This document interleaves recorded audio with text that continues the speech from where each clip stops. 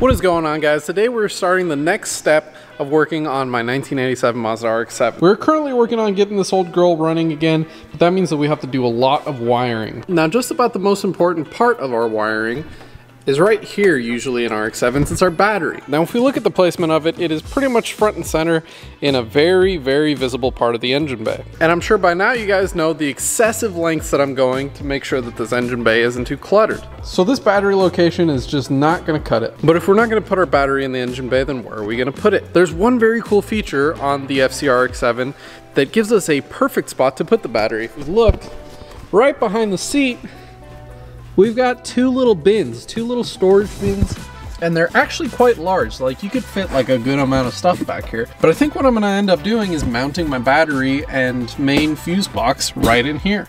That'll put the battery in a spot that's not ever gonna be visible to anybody other than myself and it'll still be super easy to service. Unfortunately, this old Duralast is just not gonna cut it. As you guys can see, this is just your run-of-the-mill lead acid battery, which means that this is full of a bunch of lead plates and acid that creates a chemical reaction that creates voltage. Now the issue is that that same chemical reaction puts out toxic vapors that we don't want to be breathing in inside of the cabin of the car. And that is where this old girl comes in. This is my brand new anti-gravity ATX 30.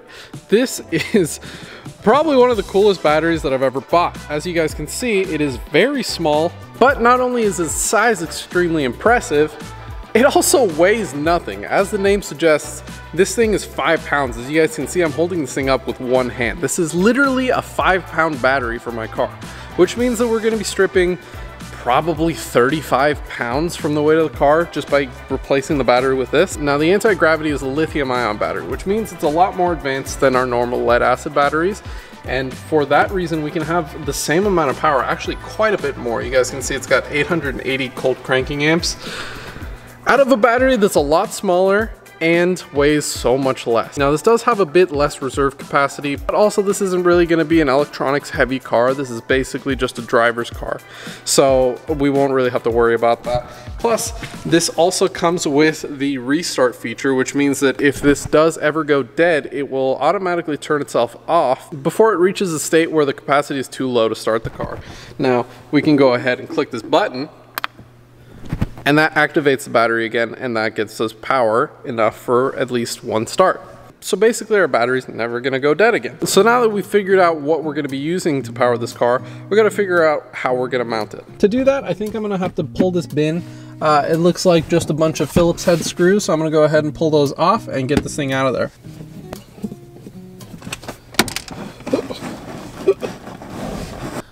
So as you guys can see, in its place, we have pretty much the place where a back seat would go in the 2x2 version of this, but we don't have that. The nice thing is that we do have a few bolt holes in here that we can use as uh, mounts for a little battery tray. So I think I'm gonna go ahead and figure out what kind of battery tray I could build for this and uh, get that ATX 30 mounted in here. All right, so it's a few minutes later and as you guys can see, I've got this little piece of cardboard here that is acting as my mount for my battery. Um, I'm to be bolting into the stock seatbelt mounts right here and right there. And it's just to be a bar that's just to go straight across, bolt into those two. I'm also thinking about bracing to this front piece right here, having a little strap that goes over here and we'll probably riv nut that in possibly tying into those two bolt holes, but I'm not sure yet. At this point, I'm liking where this is at, and I think I'm gonna go ahead and draw this up in CAD so that I can get this made out of some metal. Okay, we are back at the home base. I've just finished designing my battery mount, so I'm gonna go ahead and give you guys a little bit of a tour of what I got going on. Alright, so starting out with this entire thing, we've got our main battery mount. This thing is made out of sheet aluminum. This is pretty much what you guys saw me designing at the shop. We've got one mounting tab, two mounting tabs, and three mounting tabs that are all three gonna have bolts into the car. Then we have a big space right here that's actually for our battery mount. Now, I can go ahead and activate the battery tray, and this is gonna be a 3D printed part that basically will house our ATX 30 and right on the side of it we're going to have a circuit breaker to make sure that we have good circuit protection if anything does go wrong. So that is pretty much how it's going to sit in the car, but we need some way to strap it down so I've come up with a little bit of a hold down that's just going to be another piece of sheet aluminum bent up and that's going to bolt down to the mount itself. So this is going to be our completed version of basically what's going to be holding my battery into the RX-7 and I think it looks very good. We still have a space right up top which will be perfect for us to be able to hit the restart button if we ever need to. But it's going to be nice hidden and you won't really be able to see a thing and we'll have space if we want to mount a fuse box in here or anything else like that.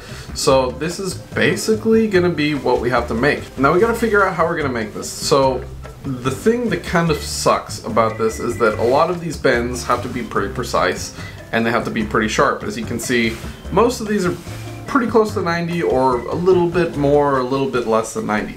So on Fusion 360 I can go ahead and uh, make a flat pattern of that specifically and I can actually print this out so that it'll be perfectly to scale so that I can just transfer that to my piece of aluminum, cut that, and mark all my lines where it needs to be bent. But that kind of presents an issue because I have no way of cleanly bending any of this stuff. So I've got to come up with a little bit of a solution. I think that it's going to involve me making a quick little dirty press brake and seeing if that's going to be good enough to bend all of these shapes. Hopefully we can get that done. So let's get back to the shop and let's see if we can do it. Alright, so I'm starting out by basically just marking up my angle iron. This is just cheap, just angle iron from Home Depot. Um, putting it into the saw, getting it all cut down to size. I've got my gate set so that I can only cut it at the right length every single time. You can see it's a cold cut saw, super nice to have. So these are all the finished pieces. This is going to be put together to become my press brake. As you guys can see, that's going to give me the base to press into that I can actually like have the metal go into there so it can bend to whatever angle I want. I'm to go ahead and clean up all the edges. Of course, we're to be welding this thing together, so we got to make sure all of our steel is nice and clean. A little bit of work with the angle grinder and a nice little flap disc. We'll get that done nice and quick. So now we're starting the welding. I'm using my uh, Everlast TIG 200 uh, welder to get these things tacked up at first, and then I'm to go run a nice little bead along the center of them.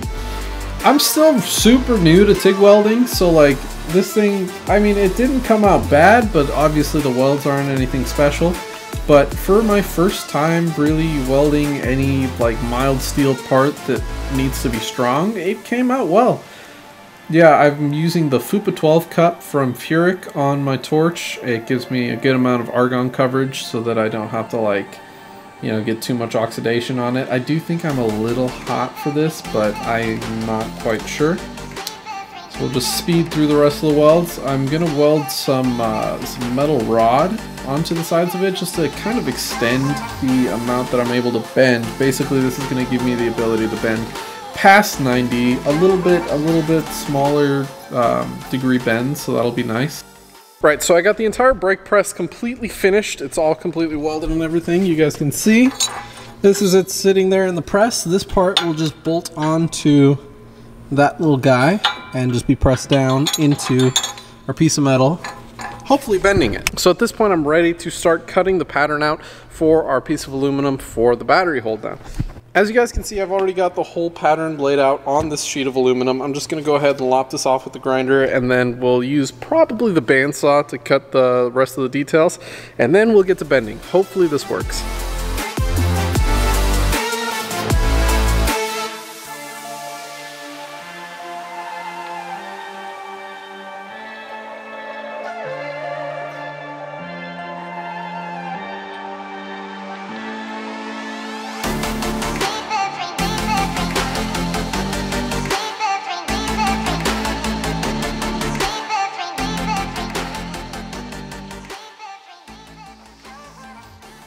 Alright, so I've got my piece of aluminum pretty much rough cut at this point. I'm to go ahead and toss this thing in the bender to try to make sure that I can get those bends looking nice. And then we will be doing some finish work to it and getting it ready to put in the car.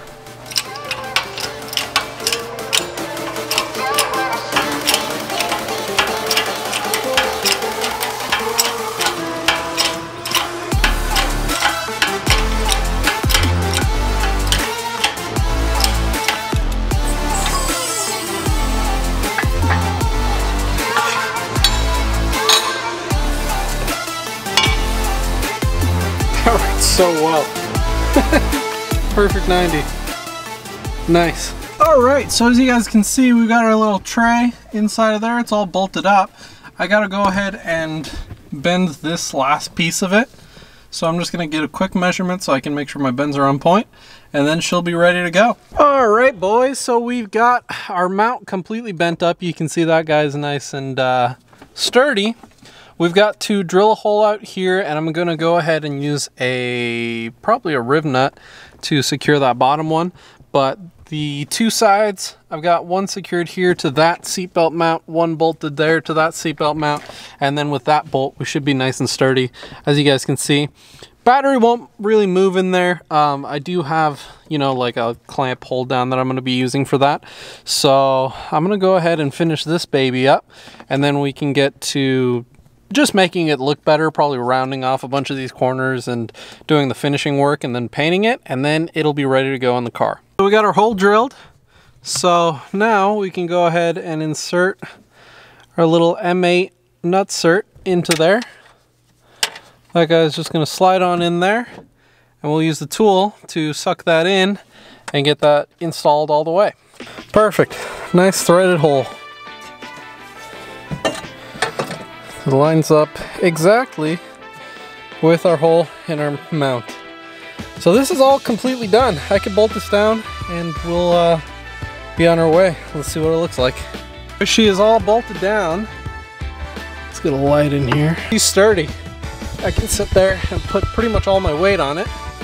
And of course, the weight of the battery doesn't do anything. So we've got these two little flaps that's gonna be where the battery mounts down to. Of course, battery is gonna be in a little tray, just like this, right about there. It's gonna be looking nice and sweet. That is our complete battery setup.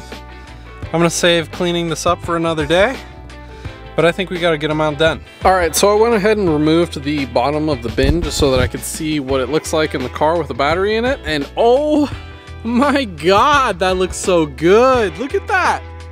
It is so pro. So that is uh, basically the way that it's gonna be mounted in the car. Uh, I still have to come up with the fuse box and all the rest of the stuff that's gonna go in there, but that's all pretty easy stuff. I think I'm gonna go ahead and final print the battery box and fuse box for that once I'm done, and then this will be completely sealed. I'll cut little slits in this so that we'll be able to retain the carpet, of course, and keep a nice, somewhat OEM look, but that looks amazing. So I think that's gonna draw an end to our time at the shop for today. So we gotta get them out done on the RX-7. I'm super stoked about it. We're one step closer to getting this thing running. As always, don't forget to like and subscribe, and I will see you guys on the next one.